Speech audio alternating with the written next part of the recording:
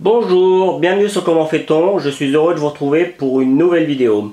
Aujourd'hui, nous allons réaliser ensemble une crème d'avocat au saumon fumé. Vous allez voir. Et surtout, c'est délicieux. Allez, je vous explique comment faire maintenant. C'est parti Vous allez voir, c'est une recette ultra simple. Dans un premier temps, on coupe l'avocat en deux. On prend une grande cuillère ou une petite cuillère et on vient enlever la chair. Alors moi j'ai un grand robot. La recette que je vous donne là c'est pour euh, une personne si euh, elle mange bien, deux personnes si euh, elle a une appétit moyenne ou alors si vous faites des verrines, c'est pour 4-5 personnes. Après tout dépend de, la grandeur dans laquelle vous mettez, vous mettez enfin la grandeur des, des, verrines ou des verres dans lequel vous mettez la crème d'avocat. Voilà, on met les deux avocats. Après, on rajoute le jus de citron. Le jus de citron, ça va permettre euh, à votre avocat de rester toujours euh, bien, blanc, qui, qui euh, noircisse pas. On va rajouter également la crème, la crème liquide. On va mettre une petite goutte de tabasco. Le tabasco, vous le trouvez euh, comme ça. on en trouve partout dans le commerce. Une goutte seulement, parce que c'est fort. Hop là. On va mettre également une petite pincée de piment d'Espelette en poudre, hein, que l'on trouve pareil dans le commerce.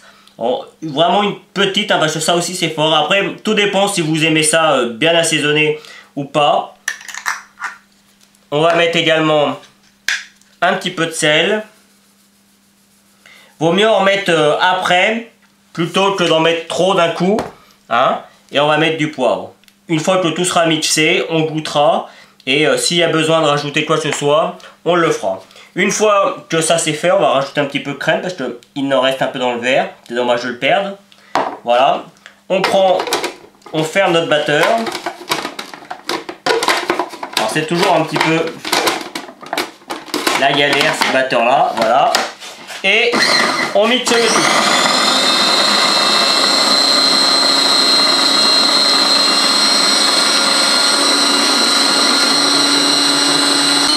On laisse battre environ, enfin on laisse mixer 2-3 minutes. Moi je vais l'arrêter.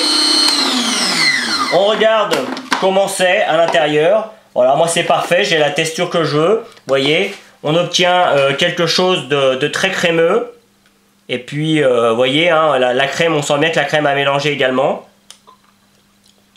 Je goûte pour être sûr que l'assaisonnement est bon. Pour moi, c'est parfait, ça manque de rien. On va donc pouvoir maintenant euh, passer au dressage. Alors, j'ai pris deux exemples alors juste euh, un pot à yaourt qui va me servir de, petit verre euh, euh, pour une entrée par exemple et puis un, petit, un petit verre à apéritif qui va me servir pour les verrines. Tout simplement, on s'embête pas, il n'y a pas besoin de, beaucoup de chichi dans la cuisine. On va remplir nos verres, alors ce serait certainement plus simple avec une poche, hein. vous pouvez la remplir et mettre ce qu'il faut dans les verres. On va commencer comme ça, je vais remplir l'autre et je reviens. Si vous le faites à la main comme moi, on prend un petit sopalin pour avoir quelque chose de, propre. Voyez, on vient donner un petit coup comme ça. Et puis, on n'hésite pas à le tasser de façon à ce que on voit bien quelque chose de, de bien propre, de bien joli. On fait pareil avec les petits. C'est pour ça, avec une poche, si vous mettez ça dans une poche, ça sera plus propre sera plus rapide. Mais bon, vous voyez, ça c'est très bien. On va maintenant prendre notre tranche de saumon fumé. Alors là, vous pouvez le voir, hein, euh, j'ai un avocat. Euh, ça fait euh, une personne, hein, deux si vous n'êtes pas des gros mangeurs. Mais bon, moi là, pour moi, ça, ça se mange sans problème tout seul. Hein. Donc après, à vous de voir ce que, vous voulez en faire. Donc, on va prendre les tranches d'avocat, de, de saumon fumé, pardon. Et on va les couper en petites lamelles pour que ce soit facile à manger et qu'on puisse décorer aussi un petit peu.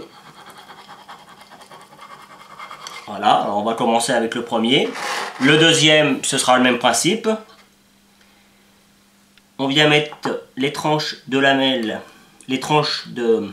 les lamelles de saumon fumé, je vais y arriver. Un petit peu de la manière que l'on souhaite. Moi j'aime bien quand, euh, quand ça va pas forcément dans le même sens. Le but étant quand même d'avoir euh, d'avoir euh, ce qu'il faut à manger. Vous aurez compris qu'il faudra aller piocher avec une cuillère pour aller chercher la crème d'avocat. Voilà, voyez, c'est joli là comme ça. Moi j'aime bien. Je vais en faire autant avec le petit et il nous restera plus qu'à mettre le persil. Pour le petit, j'ai opté pour euh, des petits dés pour que ce soit plus facile euh, à manger et à aller chercher. Hein. Donc maintenant, il ne nous reste plus que euh, le persil ou la ciboulette à mettre. Moi, j'ai du persil de mon jardin, donc je vais en profiter. Alors, petite astuce pour que ce soit facile à couper et à faire des fines, des, morceaux tout fins. Il suffit simplement, vous voyez, on vient le tasser un petit peu. On s'occupe pas trop de la tige parce que euh, sur le coup là pour la recette on n'en a pas besoin. On prend un couteau et simplement vous voyez on vient découper comme ça. Et comme tout est tassé, hop, ça fait des tout petits morceaux. Pas besoin d'avoir un choix. Voyez. Si vous en avez euh, des grandes quantités, c'est le même principe.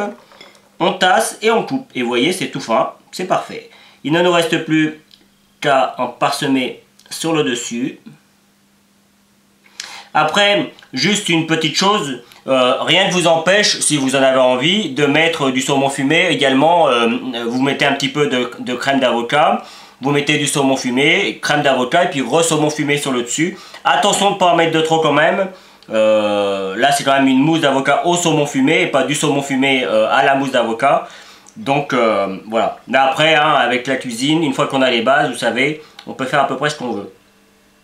Donc voilà, un petit peu de déco, pas trop non plus parce que sinon ce serait pas joli. Voilà, il y en a assez. Et la recette est terminée. Voilà.